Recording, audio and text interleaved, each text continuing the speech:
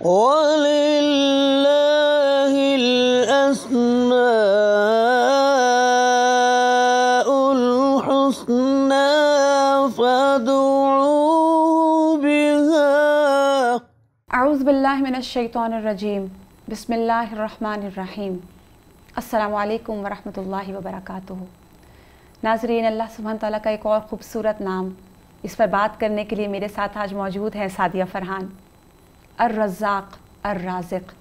बहुत ज़्यादा रोज़ी देने वाला।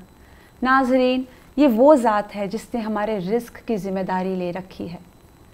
हर जान के रिस्क का बंदोबस्त इसी ज़ात ने किया है और उसकी अता बेशुमार है।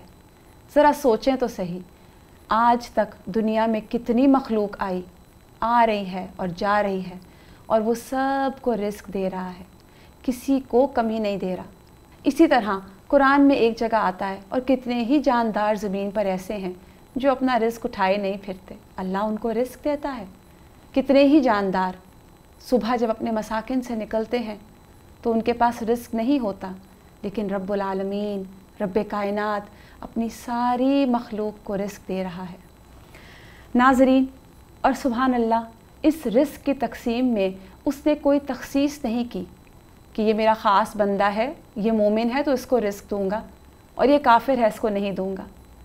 उसका रिस्क तो काफिर, मोमिन, मुसलमान, मुनाफिक, हर इंसान के लिए वसी है। और रिस्क की इकसाम। नाजरीन, हमारे जहन में रिस्क की इकसाम क्या आती हैं? खाना, पीना और माल? नहीं। रिस्क की बहुत सारी इकसाम है। मैं चाहूँगी कि मेरी साथी साधिया इस पर थोड़ी सी रोशनी डालें। जी।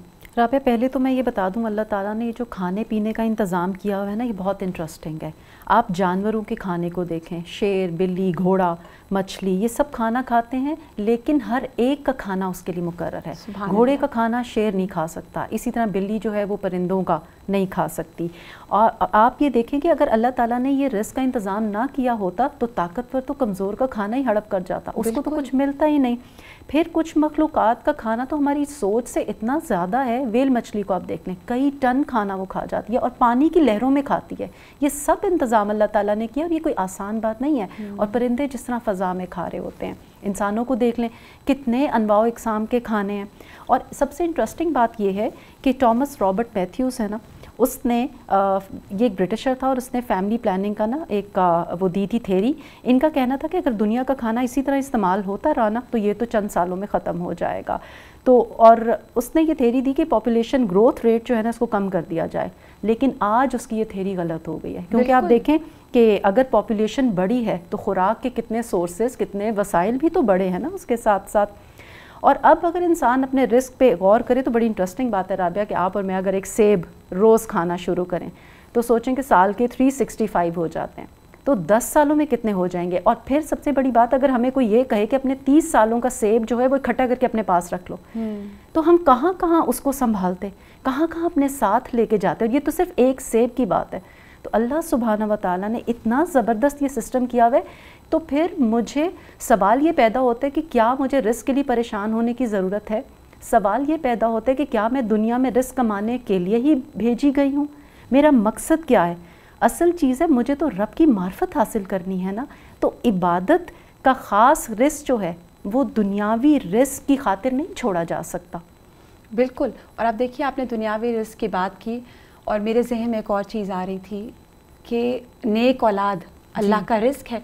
और इसी तरह अगर हम शुरू करें हमारी ज़िंदगी अल्लाह का अदा करदा रिस्क है। हम्म। हमारा ईमान जिस ईमान के साथ हम नमाज़ पढ़ते हैं या जिस ईमान के साथ और फिर आप सोचिए जिस ईमान के साथ आपने नमाज़ पढ़ी और आपका ईमान बहुत ऊँचा और फिर उसमें आपकी नमाज़ में अल्लाह सुबहान तला ने आपको खुशू अता किया तो वो खुशू अल्लाह का ख़ास रिस्क है।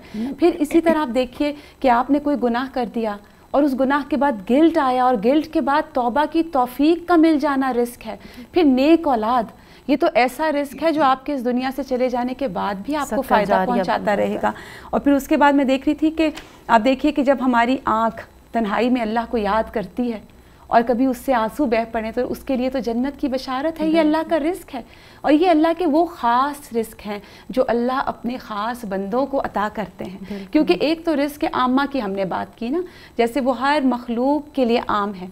लेकिन रिस्क ख़ास क्या है कि अल्लाह अपने बंदों को अपने करीब कर ले अपना फजल कर दे उनके दिन रात बदल दे और उनके शौक़ बदल दे। ये भी अल्लाह का ख़ास रिस्क है। जी और आप जिस तरह आपने फर्मा बरदार औलाद की बात की ना ये अल्लाह ताला का रिस्क है तो आप देखें अगर औलाद की तरबियत सही शरय असूल पे की जाती है ना तो ये बहुत बड़ा सदका जारिया बन जाती है। लेकिन होता क्या हमारे यहाँ अनफॉर्चुनेटली वालदेन जो हैं वो औलाद की दीनी तरबियत पे तो बहुत ज़्यादा वो फोकस होते हैं लेकिन अपने आप को वो दुनियादार रहने देते हैं अपनी असलाह नहीं कर रहे होते। तो इस पर भी बहुत ज़्यादा सोचने और समझने की ज़रूरत है कि अपनी असलाह भी ज़रूरी है। वो लिलमुतकीना इमामा वाली बात है ना तो वो भी तो अल्लाह ताला का रिस्क है किसी का मुत्तकी हो जाना। बिल्कुल, ये आपने वही तो सही बात की, लेकिन असल में मसला ये है कि हमारे आज माशरे में इस रिस्क को रिस्क समझा ही नहीं जाता। रिस्क की सिर्फ़ एक या दो फॉर्म्स हमारे पास है कि हमारे पास माल है या हमारे पास खुराक है। लेकिन जैसा कि अभी आपने भी बात की कि रिस्क की तो बहुत सारी डायमेंशन हैं। और हदायत का रिस्क तो इतनी बड़ी बात है कि जिसको हदायत मिल गई वो तो बड़ा खुशकिस्मत है। करती है। खाना तो हर कोई खाता है लेकिन कुरान तो हर रोज कोई नहीं पढ़ता। और नमाजों की तोफीक तो हर एक को नहीं होती। को नहीं तौबा इस्तगफार की तौफीक ये अल्लाह सुबहान तआला का खास रिस्क है जिस पर आपकी आखिरत पेस्ट करती है। नाजरीन अल्लाह अर्रज़ाक रज़ाक रिस्क देने वाला है। और अगर हम आज अपने इर्द गिर्द नज़र दौड़ाएँ तो यही वो एक चीज़ है जिसके लिए मखलूक बहुत परेशान है। नाजरीन, कुछ अमाल ऐसे हैं जो रिस्क को खींच लाते हैं। तहजद का अदा करना रिस्क को खींच लाने का बायस है। ज़िक्र की कसरत रिस्क को खींच लाता है। सदका की कसरत रिस्क को ले आने वाली चीज़ है। और इसी तरह इस्तफ़ार की कसरत इंसान के रिस्क में इजाफ़ा करती है।